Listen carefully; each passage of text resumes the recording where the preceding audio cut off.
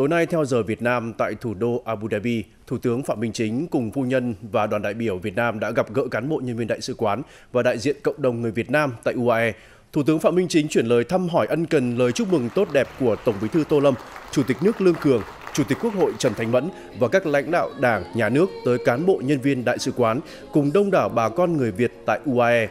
Cùng với chia sẻ tình hình thành tiệu cơ bản của đất nước, Thủ tướng khẳng định Đảng, Nhà nước luôn quan tâm chăm lo, hỗ trợ để cộng đồng người Việt Nam ở nước ngoài ổn định, hội nhập xã hội sở tại, ngày càng nâng cao vai trò vị thế, phát huy bản sắc dân tộc, đồng thời khuyến khích và tạo thuận lợi để bà con đóng góp tích cực cho quê hương.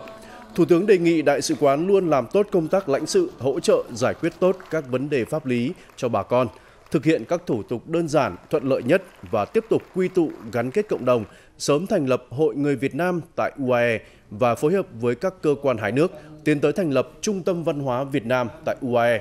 Thủ tướng xúc động khi thấy bà con đã luôn nỗ lực, tự lực tự cường, vươn lên, vượt qua mọi khó khăn, thách thức, đạt được nhiều kết quả, thể hiện rất rõ tinh thần, bản lĩnh, truyền thống tốt đẹp của dân tộc Việt Nam.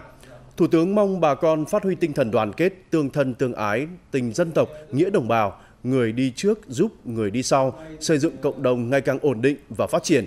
giữ gìn bản sắc dân tộc, duy trì tiếng Việt. Thủ tướng chia sẻ trong thời đại công dân toàn cầu, bà con có thể làm ở bất cứ đâu cũng được, miễn là phát huy tốt nhất khả năng, sở trường của mình. Và dù ở đâu, trong hoàn cảnh nào, thì điều quan trọng nhất là tâm hồn, trí tuệ, tình cảm luôn hướng về quê hương, đất nước.